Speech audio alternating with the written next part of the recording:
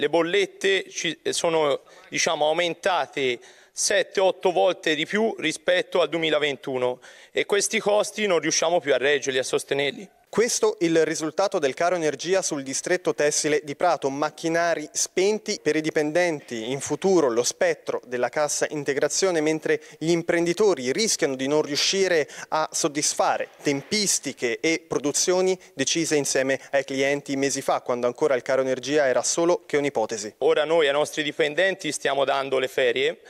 però al punto che quando finiranno le ferie toccherà ricorrere anche alla cassa integrazione e in 50 anni di storia noi non siamo mai ricorsi a questa cosa, neanche in tempi di Covid. Ma non solo, il problema viene dato anche ai nostri clienti perché abbiamo ordini e consegne prestabilite e queste consegne non siamo neanche più in grado di mantenerle. Noi chiediamo una risoluzione almeno una parte di una risoluzione di, queste, di questi aumenti nel breve tempo perché la nostra filiera già ha perso molti pezzi negli anni scorsi e così facendo si rischia proprio di chiudere tutti qui.